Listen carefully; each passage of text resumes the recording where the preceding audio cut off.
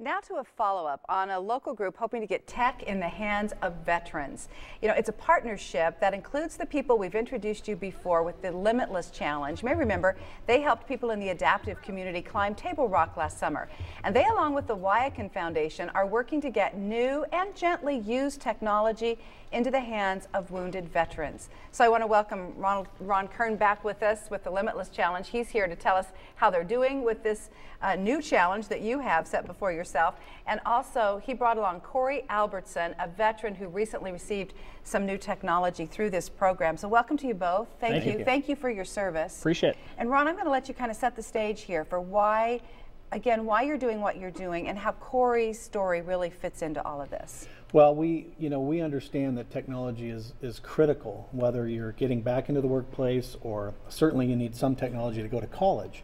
And what we're find, what we found is that a lot of of our fantastic military veterans come back after service and they don't have it. Mm. And there's a lot of red tape potentially to get it through other sources. So we wanted to cut through that mm-hmm. And get some technology into their hands so that they can you know, get to work, get to school, whatever it is that they're trying to accomplish. So they don't have another obstacle in their way to Correct. that. Corey, you have quite a story. You served for some five years, Black Hawk, uh, Black Hawk helicopter pilot, and medically discharged from the Army after those five years. Why is this helpful to you? What's your story?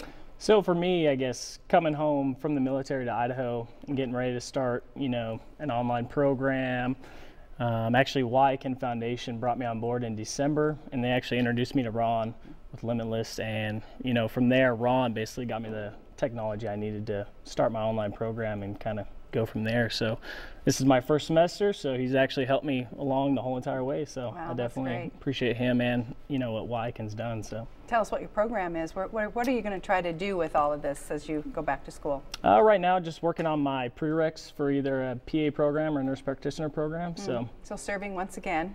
yeah, that's that's neat, and it must just make you feel great, Ron, to be able to help somebody like Corey get that that start for me, it's individually, you know, it makes me feel good. But what makes me more proud is being able to walk in to his house and provide what he needs. And then not only seeing what a wonderful veteran he has been for our country, but being a wonderful father and, mm-hmm. a, and an outstanding husband that he is.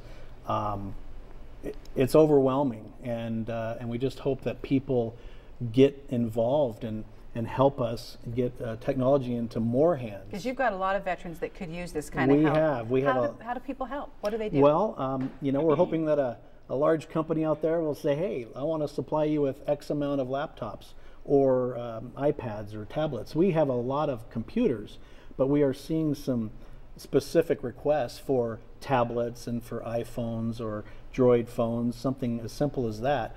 But we, we're looking for people to help us get this technology so we can get it into hands like Corey and, and they can really start moving forward uh, with what they want to do in the next journey of their life. Well, because anybody that's in college or has has a kiddo in college, which a lot of us do, you know, it's not a it's not an option. I mean, you have to have the technology to get the education and to move forward. Right. So, Corey, thanks for being here. We should explain Corey Albertson any relation?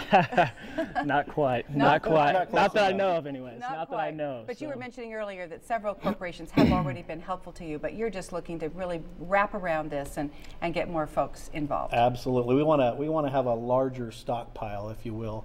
So you know we've disseminated some some computers here locally. We're sending off another one to Georgia, mm. um, and it's just a powerful purpose, and we hope others see the, the benefit. All right, well, we've got a hot link for the Tech for Vets program. It's on our website at ktvb.com. I, I hear people say all the time, you know, they want to be able to thank veterans. Uh, people love to do that. I hope folks come up to you and they realize that, that you've served and, and thank you. But this is a real tangible way to thank our veterans. And so Ron, thanks for what you're doing. Oh. It's a it's a great program, and Corey, thanks for what you're doing. Appreciate it. Appreciate you guys stopping by, giving us an update, and we'll continue to let you know about it as the program moves along.